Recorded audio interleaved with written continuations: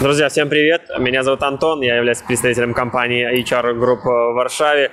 А, И мы прям на вокзале встретили Орлена, который приехал на электричке прям из аэропорта. Все правильно, Орлен? Да, здравствуйте еще раз. Привет. Расскажи, пожалуйста, как прошла твоя дорога? А, было, да, было чуть-чуть трудновато, потому что все-таки первый раз а, получается в Европе было волнительно, было необычно, да, но все-таки прилетели. Молодцы, да? Да, Наверное, молодцы. самый трудный момент был, когда ты подходил на к пограничнику. Да, да, пограничникам, они все такие строгие. Ну да, конечно, они с виду строгие, но они ну, приветствовали, да, доброжелательные много чего посоветовали. А скажи, пожалуйста, какие вопросы тебе задавали? По приглашению, может, что-то Да, да, да. спрашивали? Что Ну, ты с собой вез? То есть паспорт, приглашение, какие Да. документы тебе были? Они попросили, конечно, паспорт, потом пригласительное, куда я еду, а, а, куда, ну, где буду, ну, где буду проходить карантин. А, Я все показал, то, что мне дали. э, Напомни нам, сколько ждал ты приглашения?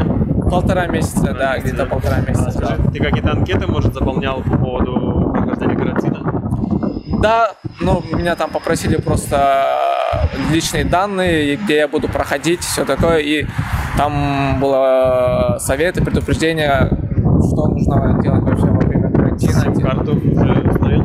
Нет, пока нет, ну, мы сейчас собираемся, да, да, А купить. скажи, э, какие-то приложения уже, может, скачал?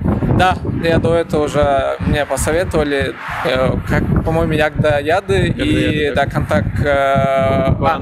Да, Кварантоу, да. Это по которому тебе будут э, приходить и... Да, как я, как я, карантина, да, как я понял, они будут, будут следить, э, куда мои передвижения, куда я иду, все такое, потому что все-таки, да, карантин, корона- коронавирус. Ну да. Да. А, Продукты еще не купили, сейчас пойдем с тобой Нет, да, закупим. ну, сейчас и собираемся. да. денежку все взял, подготовил, Да, поменял. всё, всё, Сколько есть. злотых у тебя с собой?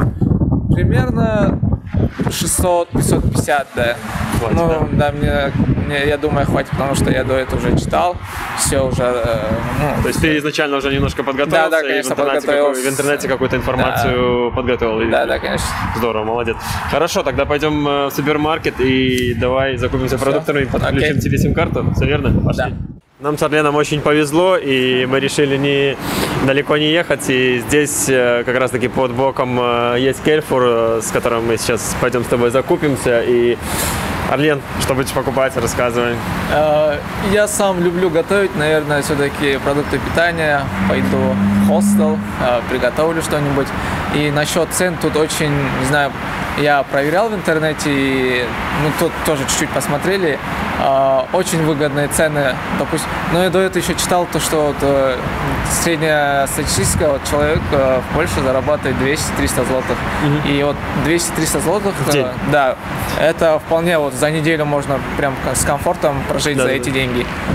А у нас в Кыргызстане ну, 200-300 злотых ты заработаешь, не знаю, за две недели, может быть, да. да.